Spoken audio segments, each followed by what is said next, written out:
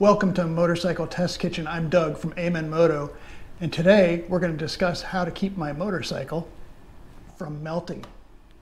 So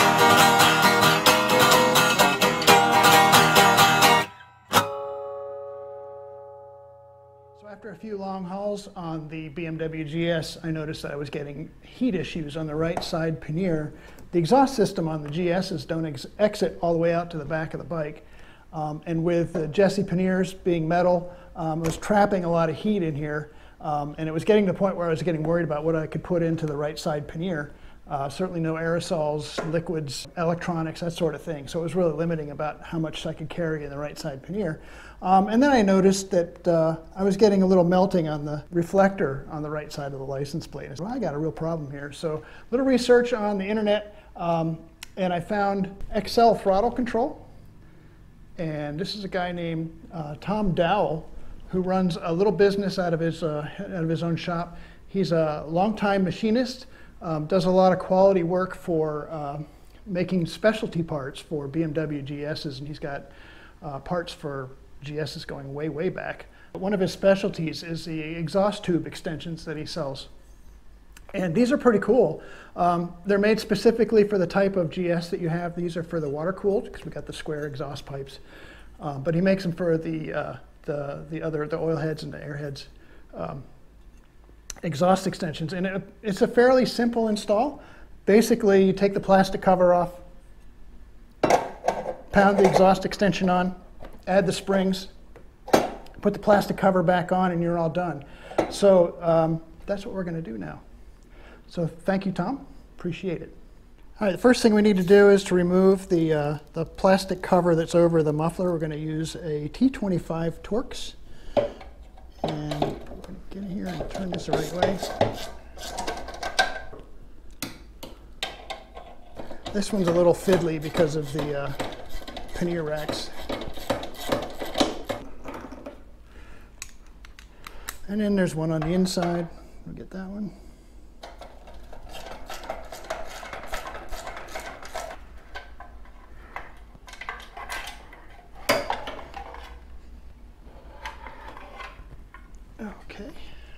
All right, so we have, we have the cover off and we can get to uh, install this. So the way this is going to go on is that there is no top and bottom. This is just going to fit on there. We're going to pound this on as far as we can get it. There are two springs that come with the kit.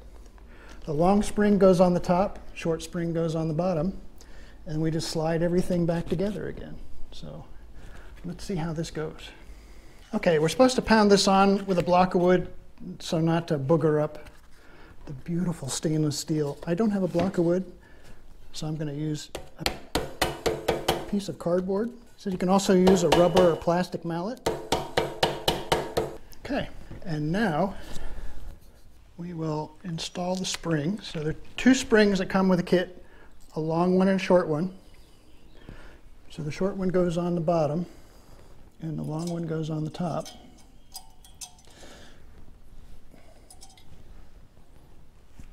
Long one goes on the top. All right, and now the fiddly part. If anybody's ever done drum brakes, you know how difficult this can be. There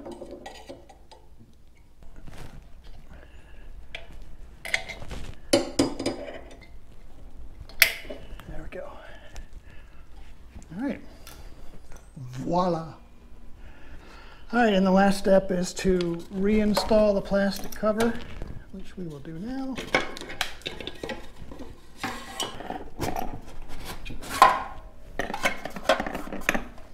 Okay, put the three T25s back in place. Make sure you start them before you tighten them on. Make sure you get good alignment on everything.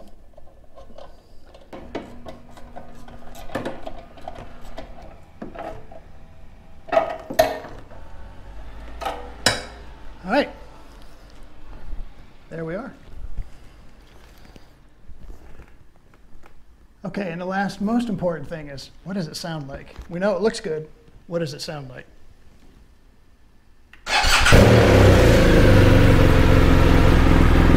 Sounds exactly the same as I would expect.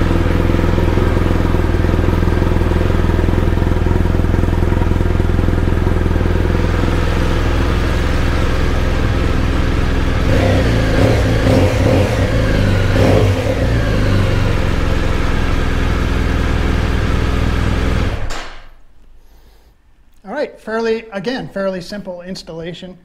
Um, I want to thank Tom Dell from XL Throttle Control, um, also XL Cycle Machining. I think he's got a couple companies.